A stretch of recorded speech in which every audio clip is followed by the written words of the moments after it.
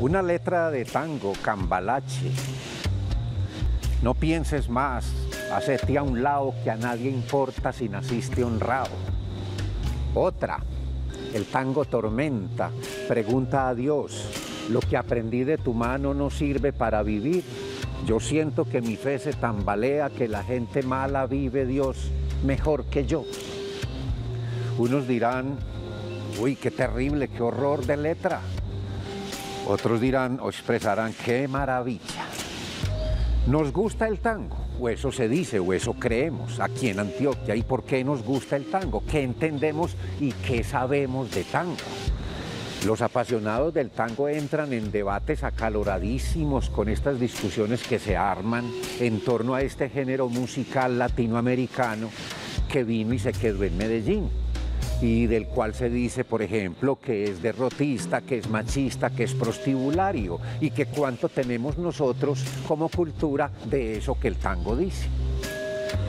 Vale la pena pensarlo, claro, cuando, ahora que en tiempos de tango y de festival, mire, eso es bueno hablarlo, claro, y nada mejor que alguien que investiga, que ama, que difunde el tango, y a quien escuchando, uno de veras se queda con la convicción de que yo sí sé quién es usted.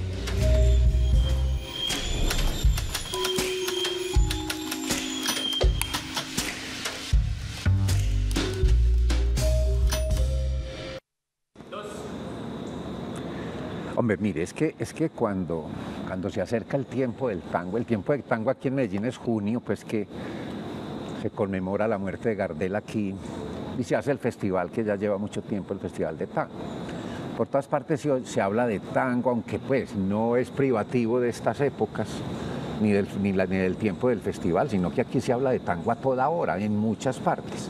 Entonces se ha dicho siempre que, que, es que me- no falta quien diga que Medellín es la capital del tango, pero frente a eso aparecerá quien, quien, quien afirme que, que a Medellín se le ha sobredimensionado en asuntos de tango.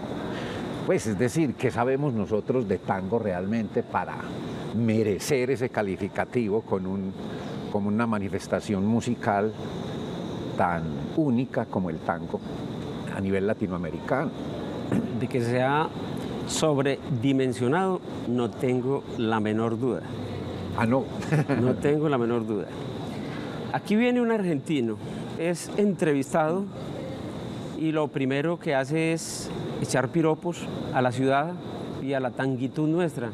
Pero son los piropos que habitualmente ellos manejan, porque ellos no van a desconocer ni van a ceder que con su orgullo tan empinado vayan a cederle el mérito que ellos tienen a otra ciudad o a gentes de pueblos diferentes. Así que es lo que en el lenguaje coloquial o en el lenguaje vulgar se llama por ahí darle coba a la gente. No me gustan esas palabras, pero yo sé que el pueblo las entiende y con esas palabras ellos le dan a los colombianos, sobre todo a los mm, de aquí de Medellín, le dan esas adjetivaciones, pero nunca reconocen la verdad, porque ellos creen que la única verdad es que el tango es argentino y que inclusive a Uruguay lo que le compete no se lo brinda. No se lo concede. No, no, no. Oiga, Rodrigo, Rodrigo Agudelo, ¿qué es usted? Agudelo Salinas. Salinas, usted, usted es investigador del tango porque quiere mucho sí. eh, el tango, ¿cierto? Por supuesto. Es coleccionista, Correcto. ¿sí? Es- ¿Ha sido profesor, cierto? No. Privadamente he ejercido la docencia mucho. Sí. ¿Y qué le investiga usted al tango? Pues, ¿qué es Todo lo ha habido y por haber. en particular las Vale, letras? val- vale decir, no, en las letras hay mucho que estudiar, la parte sociológica, la parte literaria, la parte tem- Lingüística, temática, sí, pero es que comporta un poco de elementos. Lo lingüístico está presente y estará siempre presente, pero es que no son los únicos factores subyacentes en ese fenómeno. Hay aspectos de tipo político, de tipo histórico, sociológico, que también son dignos de, de estudiarse, de escudriñarse, de profundizar en ellos. Pero además ha sido un difusor, ¿cierto? Yo usted sí ha tenido sido- programas en radio y, Sí, yo incluso en televisión. Yo he trabajado en la emisora cultural de la Cámara de Comercio de Medellín. Allí produje un programa que se llamaba Galería de Recuerdos, abierto a todas las formas musicales de América, pero que tenía también cabida el tango. Y a través de Televida, hoy Televid, allí hice otro programa que igualmente estaba abierto a todas las formas musicales de América, pero el tango tenía su cabida y no faltaba quien dijera que yo tenía un programa de tango allá. No, un programa de música popular de América que incluía eventualmente el tango. Bueno, pero entonces dentro de lo que usted estudia y ha estudiado, investigado, pues me imagino que el tango universalmente, pero ¿qué, qué en lo relativo con Medellín? Que usted pueda afirmar, es decir, o se puede decir realmente que Medellín es la segunda capital del tango después de Buenos Aires. Y de, bueno, yo diría la tercera para ser más justo. bueno, y eso, sí sucede porque Gardel se murió aquí. No, eso no es verdad que sea por esa razón. Las razones no las conocemos pero es muy común que al ser humano le dé por hacer afirmaciones, matricular a la opinión pública con una afirmación cuando no hay un sustrato técnico, científico que lo avale. Entonces se hace la afirmación y se, y se, vuelve la afirmación como una letanía, se repite a través de la radio, a través de la televisión y eso se convierte como en una ley sin ser tal cosa. Porque una cosa que se dice mucho, y hay escritores, y, incluso se ha escrito, bueno, y es que el tango llega a Medellín en un momento en, que florece Guayaquil, a donde llegan inmigrantes del campo y que vienen aquí en una soledad tremenda, sin raíces de nada, y el tango en las cantinas de Guayaquil les canta su realidad y les está diciendo lo que están viviendo, su tragedia, su dolor, su angustia. Y por eso el tango pega de esa manera aquí en Medellín y aquí en Antioquia. Eso es lo que se afirma, pero no quiere decir que por afirmado pasa a ser verdad. No. Se dice mucho eso, pero si usted mira otro género musical, supongamos de México, la ranchera, el corrido y el huapango, igual, aquí tienen su reproducción en Medellín. Es la, música, es la, ranchera es muy violenta. Claro, claro, y es música criolla que igualmente se maneja acá, como se maneja el tango. Y si es de una temática triste, dolorosa, pues resulta que un bolero también te toca esa temática. ¿Usted no recuerda de pronto un bolero que se llama La Boda Negra? No. Bueno, eso es bolero yo, muy poquito. Yo digo que eso es macabro y eso no es ni patrimonio del tango ni patrimonio de los géneros mexicanos como decir la ranchera, el corrido o el guapango. De alguien que se casa con un esqueleto en un cementerio. Mm. Ahí sí, como decía jocosamente mi papá, tíreme ese trompo en uña. ¿Quién hace ese tipo de cosas? Y eso está descrito en un bolero. Entonces todos los géneros musicales populares manejan problemáticas del alma humana. Y una problemática bien humana es el amor, con su faceta de aceptación o de rechazo. Entonces el amor y el desamor, el amor correspondido y el amor no correspondido. Eso está plasmado en la canción popular. A ver, Rodrigo, entonces, ¿cuál es el valor del tango realmente en lo, que tiene que ver con Medellín? o Medellín para el tango, de veras. Que pues. Medellín le abrió las puertas a ese fenómeno y aquí se quedó. Que viniera después lo de la muerte de Carlos Gardel es un fenómeno adicional, pero aquí hay tango desde mucho tiempo atrás. Por allá por 1917, 1917. Cuando él murió en el 35. Cuando dicen que nace el tango canción, que ni siquiera se sabe qué es el tango canción, es otro fenómeno bien curioso para analizar. Por 1917, Hernán Restrepo Duque identifica mm. a la canción en tiempo de tango más vieja que conocemos. 1917 y Gardel apenas estaba disque inventando el tango canción porque se le endilga esa responsabilidad a él. 1917. y después vienen otros personajes que aquí en Colombia componen tango, pero que no son muy difundidos. Es un hecho que lo de la muerte de Gardel empujó la afición, hizo crecer la afición del tango. Pero ¿por qué vino Gardel acá? Él estaba en una gira. Por eso, entonces cuando vino era porque aquí gustaba el tango. Eso es un proceso que va creciendo lentamente. Claro, vino y lo, por eso. Y lo otro es una afirmación que le gusta mucho a los teóricos sin tener una justificación. Claro, en esa gira él, fue a Bogotá Iba, iba para Cali precisamente, y era porque también gustaba el tango. Por Él no va a ir donde no le gusta. Por supuesto, pero sí es un hecho que Bogotá, que Cali, que Pereira, Manizales, que Medellín y el eje cafetero son regiones o zonas de nuestro país muy abonadas para eso. No tanto otras. Yo no digo que, por ejemplo, en Bucaramanga no haya interés por eso, sí, yo sé que lo hay. Pero lo más marcado es lo que ya nombramos, como lugares de interés para este género musical. Bueno, pero lo otro es que barriadas, barrios, como decimos nosotros, como Manrique, el barrio Antioquia, Guayaquil, de pronto se parecían mucho a, a ciertos sectores de Buenos Aires donde floreció el tango. y Pero entonces, pareciéndose o no, igual. Es cuestión psicológica si a usted le gusta una música o no, algo que le toque su alma, algo que lo tiente y lo motive, pues a eso le va a abrir usted el campo. Si una canción toca un drama que usted vivió, esa canción de pronto se le va a pegar.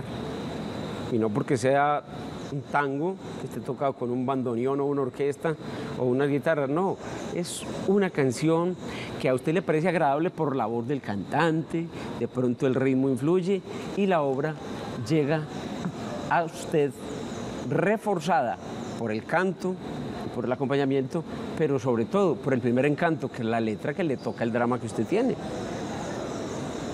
nosotros sobredimensionamos eso, ¿cierto? Hay más mito de que realidad en todo lo que hablamos. de- Dimensionado y en grado sumo.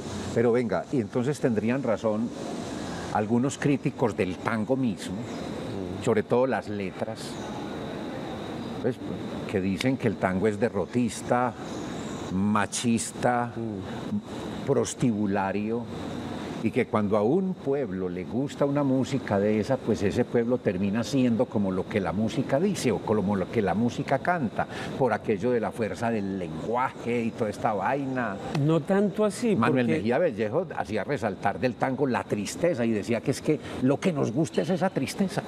Bueno, es que no es malo que tenga la tristeza, pero que sea patrimonio exclusivo de ella, eso sí es una equivocación, porque la tristeza la ve usted manifiesta en cualquier género musical. Hay tristeza en el bolero, sí, en el bolero se está expresando el desamor o la Lo traición. que pasa es que el bandoneón, el bandoneón es un instrumento que tiene una particular manera de expresar lo triste. Sí, es verdad que se presta más para la tristeza ese instrumento que otros. Pero como pudo ser ese, lo pudo hacer otro. Gardel hizo sus manifestaciones de tristeza con guitarra predominantemente, no exclusivamente. Así de sencillo. Usted lo puede expresar con otro instrumento, usted puede hacerlo con un piano, Pero ¿qué piensa usted de esa crítica mordaz que trata de, de- de destruir un poco esta manifestación cultural latinoamericana que lo es? Diciendo que el tango es, es- es derrotista, es machista, es, eh, eh, ¿cómo se llama? De origen prostibulario. No, esta el, ori- vaina. el origen, el El origen, no- es ese, sí. No lo discute nadie.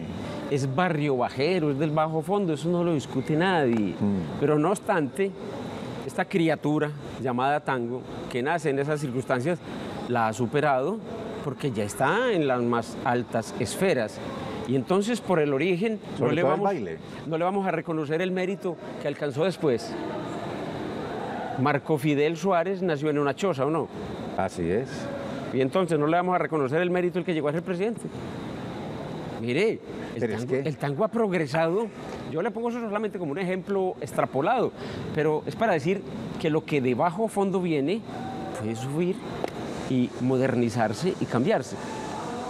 Hombre, es que hay letras del... A mí me gusta el tango, ¿para qué, pa' qué voy a negar eso? Pero sí me pongo a pensar en letras que lo hunden a uno, en el alcohol y todas esas cosas. Por ejemplo, aquí estoy, ya nada valgo, soy apenas un pasado, un pasado bullicioso que arrastrar, arrasar tu maldad. Por Dios. Sí, eh, que cuando te, cuando te recuerdo me- me- se me hace hilachas el corazón. Es que eso es muy Sí. duro. es un tango negativo. Sí, yo no niego que ese particularmente es negativo, pero si usted me lo nombra en televisión y a un argentino se lo critican, él va a decir, no, es que ese no es colombiano, ese es de Venezuela, es de Rafael Lanceta y él no es argentino. y con eso se saldría, ¿no? Pero le reitero que la tristeza misma no está solamente radicada en el género llamado tango. La tristeza está en todas las manifestaciones de la música popular, inclusive hasta en la música bailable. Vea, le pongo un ejemplo, Ah, sí. Luis Alirio. Encontraron a Don Goyo muertecito en el arroyo, amarrado con majagua, flotando en el agua. Uno- y uno lo baila, ¿no? Y eso es muerte, eso es muerte, ¿no? Y la bailamos. Entonces, Pedro Navaja. ah, bueno. Entonces, fíjense ustedes esas cosas. Nosotros tenemos una idiosincrasia que todavía no hemos identificado su origen. Entonces, y el tango la expresa. Es una de las manifestaciones que nos ayudan a manifestar, pero no es el único.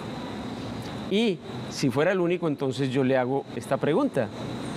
¿Qué pasa con las otras regiones de Colombia donde no se escucha el tango? Entonces, ¿a ellos qué les sirve de medio expresivo? El vallenato, hay vallenatos Entonces, sí, trágicos. correcto. Y hay trágicos, claro, claro, claro. Boleros. El dolor, la tristeza, la miseria, el desamor, el desapego, el desarraigo, todas esas expresiones están manejadas en las canciones populares. Las populares, vale decir, las músicas en general, no del tango en particular. Yo le he oído un término muy curioso a usted. Sí, El BDF. Es así. ¿La música qué? es la música BTF. BTF. Sí, sí. ¿Qué música es esa? Sí, sí, lo que pasa es que el tango va en franca decadencia, no solo en Argentina, porque lo verifiqué cuando estuve allá en el 2014, sino aquí. Pero hay, mucho, hay mucha gente joven. da-. Hay una tendencia más a morir que a pervivir. Las emisoras que tenían programas de radio, esas emisoras, o De han tango. desaparecido las emisoras, o las emisoras continúan, pero han desaparecido los programas. Los programas de tango. Los establecimientos que otrora se especializaban en el tango, esos establecimientos se han ido cerrando. La concurrencia a los establecimientos, que antes era de los que peinamos canas, hoy hasta los que peinamos canas nos estamos alejando de los lugares. Entonces hay una tendencia generalizada a acabar con eso. No es que haya expresamente en la persona la intención de acabar, no, la ley de la vida. Nos vamos volviendo viejos, nos enfermamos, no vamos a la cantina y éramos los únicos clientes, entonces la cantina deja de funcionar y cambia de razón social. Esa tendencia también es marcada. Pero entonces, ¿a qué viene lo de BDF? Eso es que... No, BTF, digo que la A música... BTF. Sí, la música, la música nuestra, la colombiana, el bambuco, el pasillo, el torbellino y otras manifestaciones han sido sustituidas, como le ha pasado a cada país, por otras manifestaciones modernas. Si usted va a México, va a encontrarse lo que está reemplazando a las viejas manifestaciones. Si usted va a Ecuador, encuentra que el clásico pasillo ecuatoriano, que el albazo, el danzante, el pasacalle, allá están siendo sustituidos por otras manifestaciones. A Colombia también le pasó. Echaron o estamos echando o dejando que se vaya de nosotros el tango. Y las músicas nuestras, con mayor razón. El pasillo, el bambuco, el torbellino y otras manifestaciones que no son del todo nuestras, pero que las hemos hecho acá. Un vals, una danza, una gabota, todo eso desplazado. Alguna vez escuché y leí, tengo el artículo guardado, en una revista de aquí, creo que la publicaba el periódico El Colombiano los viernes, una revistica que sacaba y ahí aparece una nota que dice que un señor Alarcón de Caracol había prohibido que todas las emisoras de la cadena presentaran música que fuera de Pacho Galán, de Lucho Bermúdez, de Tomás Burbano, de Drulfo Polo, de la Italian Jazz, etc. Fíjese usted, con ese tipo de medidas puede suceder todo, con la propia y con la que nosotros habíamos abrazado sin ser nuestra, que era el tango.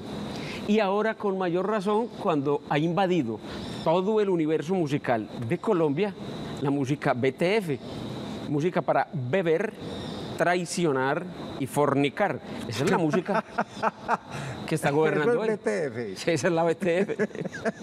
que no es, que no es un invento mío. Beber, traicionar y Traicionar y fornicar. Esa es la música ahora. Esa es la BTF, esa desplazó todo lo demás y esa es la música que se está escuchando. Tome usted internet, tome usted televisión, mire por YouTube y observe todos esos videos y póngale cuidado a esa cancionística. Toda es la misma. Esa es la antimúsica que se está apoderando de todos los lugares en el corazón de los colombianos. Bueno, pero hay gente que defiende el tango a capa y espada y dice que el tango no morirá, que no decaerá, Pues que hecho perve- pervivirá. Y mencionan letras que han- se han conservado con una vigencia extraordinaria, como por ejemplo Cambalache. Una canción que fue hecha en qué año, usted debe saber eso. Cambalache fue hecho en el año 1934. Imagínese, 34. No la alcanzó a Y grabar lo que Gardel. Cambalache dice, si usted lo canta hoy, usted ve eso, usted mira para los lados y ve eso. Sí, sí, mire, la realidad existencial, sociológica y política subyacente en esa letra está vigente para todas las épocas. Mire, cuando Cambalache dice que el mundo fue y será una porquería, ya lo sé, en el 506 y en el 2000 también. No es que pasado el 2000 Ya la vigencia no tuviera sentido o que antes del 2006 no tuviera, perdón, del 506 no tuviera vigencia, no.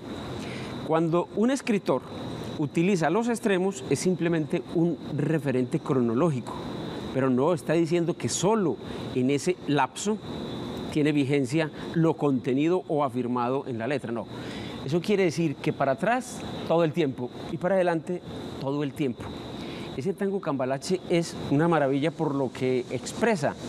Y si le damos un pequeño análisis, podremos decir cosas como esta. Que cuando Cambalache menciona la situación de la inmoralidad a la que se ha llegado en Argentina, logra entonces el poeta sintetizar una frase como esta, que los inmorales nos han igualado. Quiere decir que llegó a un mismo grado de consideración lo inmoral con lo moral. Y cuando dice, por ejemplo, Lo cual hoy en día no es privativo de Argentina. Es que ni en la época que hicieron el tango. Eso es válido, eso es válido, eso tiene valor ahistórico y a geográfico, si, si me vale el término. Es decir, supera todas las geografías y supera todos los tiempos.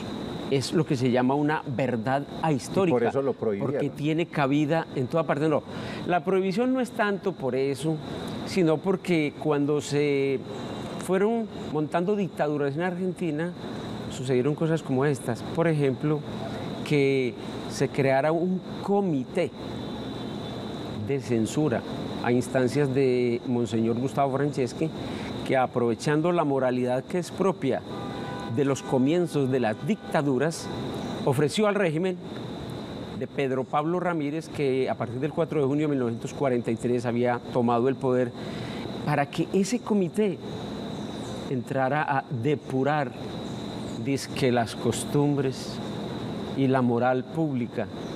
Entonces, esa circunstancia hizo que arreciara dicho comité sobre el tango. Ese comité se lo dejaron al mismo monseñor para que él lo presidiera. Entonces arreciaron contra el tango, el tango que dijera alguna cosa que al personaje de Marras no le gustara o al régimen político.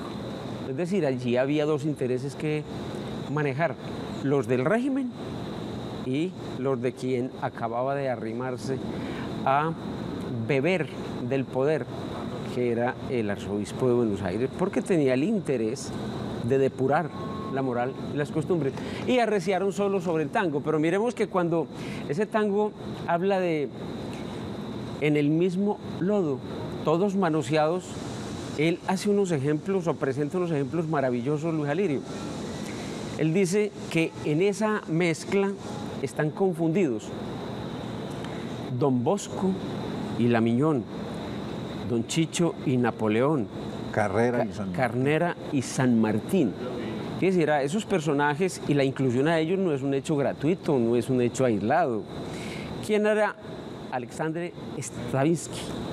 Este era un estafador internacional que había hecho en el año 1936 una estafa a través de títulos, valores, títulos municipales y luego encarcelado en 1934, allí se suicida. ¿Quién es Primo Carnera? Un campeón mundial de boxeo peso completo, 1933-1934. Ahí está mezclado, en esa síntesis está Don Bosco.